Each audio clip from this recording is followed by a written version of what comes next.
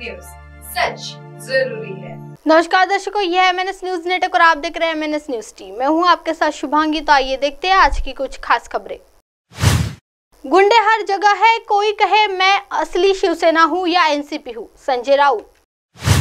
उद्धव ठाकरे गुट के सांसद संजय राउत ने बिना नाम लिए महाराष्ट्र के सीएम एकनाथ शिंदे पर तंज कसा है?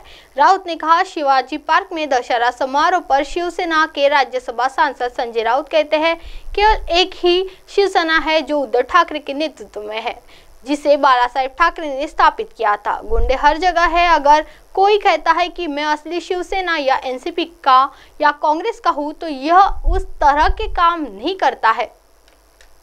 अगर आपके पास शक्ति और चुनाव आयोग है तो इसका मतलब है कि आप जो चाहे वो कर सकते हैं। शिवसेना की दशहरा रैली शिवजोई पार्क में होगी।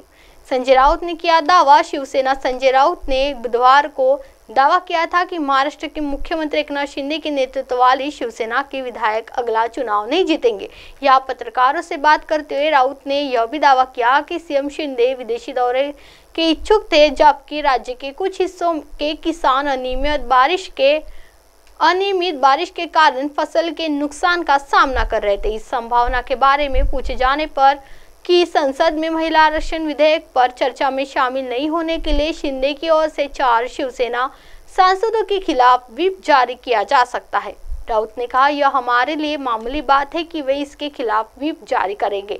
राज्यसभा सदस्य ने दावा किया कि उन्हें समूह के विधायकों को पहले यह पता होना चाहिए कि उनमें से कोई भी अगला चुनाव नहीं जीतने वाला है।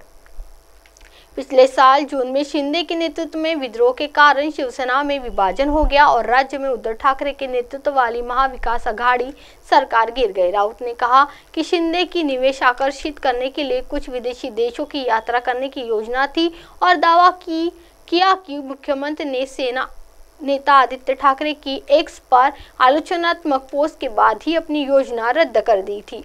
आइए बढ़ते अगली खबर की ओर। संजय गांधी अस्पताल का लाइसेंस रद्द होने पर भड़के वरुण गांधी। पीलीभीत से बीजेपी सांसद वरुण गांधी अक्सर अपने बयान को लेकर सुर्खियों में रहते हैं। वो कई बार अपनी पार्टी लाइन से अलग जाकर खुलकर बोलते हैं, जिसकी वजह से कई बार बीजेपी को असहज स्थिति का सामना करना पड़ता है। वरुण गांधी ने एक बार फिर से अमेठी स्थित संजय गांधी का लाइसेंस रद्द करने जाने के फैसले को लेकर अपनी ही सरकार पर तीखा हमला किया है। उन्होंने कहा कि इसी फैसले के पीछे अस्पताल का नाम तो नहीं है, जिसकी वजह से सैकड़ों लोगों के सामने रोजी रोटी का सवाल खड़ा हो गया। संजय गांधी अस्पताल का लाइसेंस रद्द किए जाने पर सवाल उठाया और कहा, सवाल, संजय गांधी अस्पताल के 450 कर्मचारियों और उनके परिवार का नहीं, का ही नहीं, रोज सैकड़ों की संख्या में इलाज कराने वाले सूबे की आम जनता का भी है। उनकी पीड़ा के साथ न्याय मानवता की दुष्टि ही कर सकती है। व्यवस्था का अहंकार नहीं, कहीं नाम के प्रति नाराज़गी लागू का काम नहीं बिगाड़ते वरुण गांधी के पिता के नाम पर है अस्पताल। दरअसल, संजय गांधी अस्पताल वरुण गांधी के पिता के नाम पर है, जिसका उद्घाटन तत्कालीन पीएम इंदिरा गांधी ने किया था।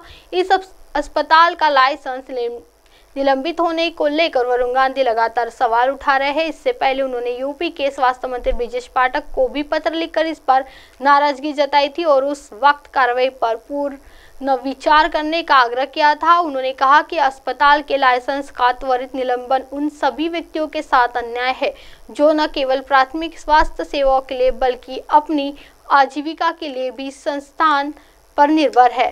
लाइसेंस रद्द होने के बाद हड़ताल पर बैठे कर्मचारी वही दूसरी तरफ़ अस्पताल का लाइसेंस रद्द हो जाने के बाद अस्पताल के करीब 400 से अधिक कर्मचारी हड़ताल पर बैठे हैं। उनका कहना है कि अस्पताल के बंद होने से वो सभी बेरोजगार हो गए। इस अस्पताल में रोज़ाना करीब 800 मरीज़ इलाज कराने के लिए आते थे। इसे में अस्पताल के लोगों में भी इस फैसले को लेकर नाराज़गी देखने को मिल रही है। अब आप हमारे चैनल को आपके मोबाइल पर भी देख सकते हैं। मोबाइल ऐप पर देखने के लिए play store M N S news T आज डाउनलोड करें। इंस्टा, लिक, ट्विटर हाई कुक फेसबुक और कई सोशल मीडिया प्लेटफॉर्म पर हमारा चैनल उपलब्ध है। आप इसे यूट्यूब पर भी देख सकते हैं। आप हमारे चैनल को लाइक भी दे सकते हैं। www.mnsnewstea.com पर फ़िलहाल वक्त हो चला है। दर्शकों, ब्रेक का ब्रेक लौटने के बाद देखिएगा देश और दुनिया की तमाम बड़ी खबरें। बनी रही एम एस न्यूज़ टी पर। नमस्कार।